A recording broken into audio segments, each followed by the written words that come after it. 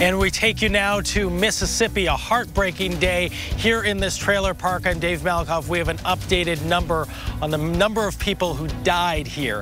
It is Wednesday. It's the last day of April. This is America's Morning Headquarters, AMHQ on the Weather Channel.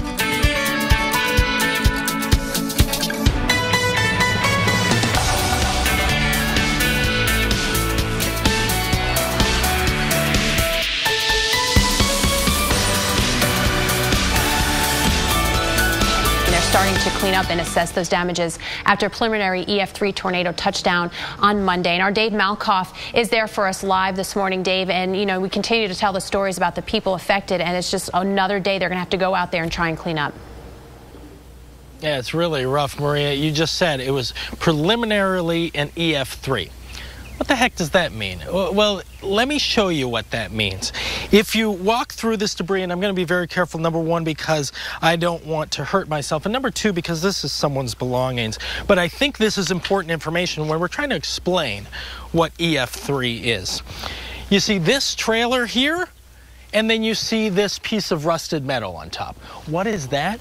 Well, that piece of rusted metal is the bottom of another trailer. So the winds coming through here, roaring through this occupied complex, picked up a trailer into the air at at least 136 miles an hour, if not more, and slammed it on top of another trailer, obliterating both of them.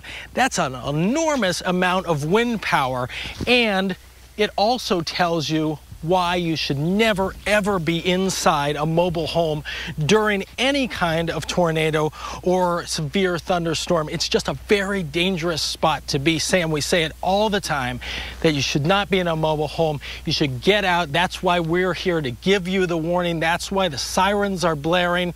This is not a place to be, right, Sam?